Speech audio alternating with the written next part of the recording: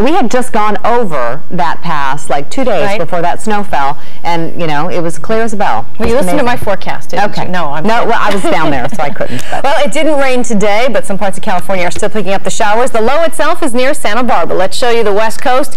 There are still a few rain showers in the southern third of the state, but for the most part, we cleared up. Although we didn't see a lot of sun in Sacramento, it was fairer in the foothills and up towards Yuba City, where it was kind of a decent day today. Temperatures not very warm, but certainly it was a break from the rain, but it's going to come back in a big way. The extended forecast is a soaker. So far this season, we've had 12.93 inches of rain. We're at 181% of the norm. Normally, we'd be a little over 7 inches by this point. Our season starts July 1st, runs until June 30th, and the reason we break it off there is because in the middle of winter, it'd be pretty hard to just set a cutoff on December 31st because that is the middle of our rainy season. So in Sacramento, we catalog our data a little bit differently, and the rain is still going to come back in the next week or two, so we're still going to tally up some totals. Thursday through Sunday, heavy rain, heavy snow, and low snow. That'll be different than the last system. We had nine feet of snow in the Sierra. Well, this one may not bring nine feet, but if you continue to see snow from Thursday through Sunday, you're bound to rack up at least a few feet of snow.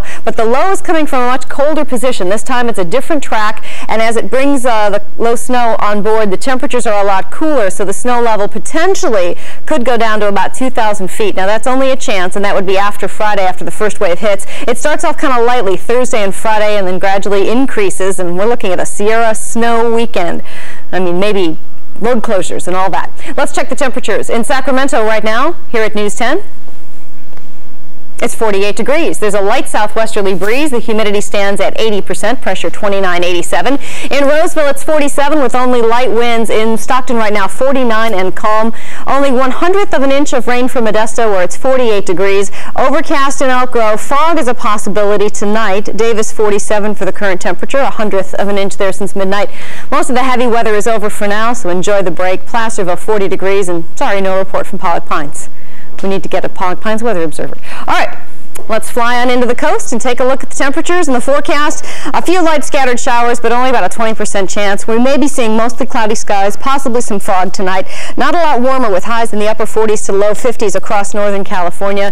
The temperatures won't change much, and we don't see any heavy rain coming until late Thursday. So there's still a period here where you can clean things up, get outside, run some errands. It won't be as wet, but by the time we get through our five-day forecast, it's pretty soaking. Folsom, 50 degrees. Auburn with a high of 45. It'll be 50 in Roseville. And for the foothills, light winds, overcast skies. A few breaks of sunshine between the foothills and the Sierra during the day tomorrow.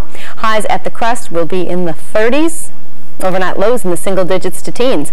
All right, here it is. Wednesday and Thursday, scattered showers. Friday, Saturday, and Sunday, I'm calling for heavy rain, cold temperatures, maybe some low snow, and really another blizzard potential for the Sierra all the way through the weekend. Well, the lines were long, but we really tried to help as many people as we could all over Northern California today at the Salvation Army on Weber Avenue, just east of downtown Stockton. They had 5,000 coats on hand. People were waiting, but they came in in an orderly manner, and they got the coats that they needed. Isn't that terrific? Right. That is great. It's always our best day with the coat it is. giveaway. It's fun. Thank you, Elissa. Okay. Well, the national championship game will be at the top of the hour, and Will Silva joins us more with the Orange Bowl. Yeah, I was just in Florida, and the place is buzzing in Miami, that's yeah. for sure. And USC quarterback Matt Leinart talks about the big game and hear what he thinks of his Orange Bowl opponent, Oklahoma. And Kings guard Bobby Jackson is on the mend from wrist surgery. Find out what Sacramento's next move will be to replace him next.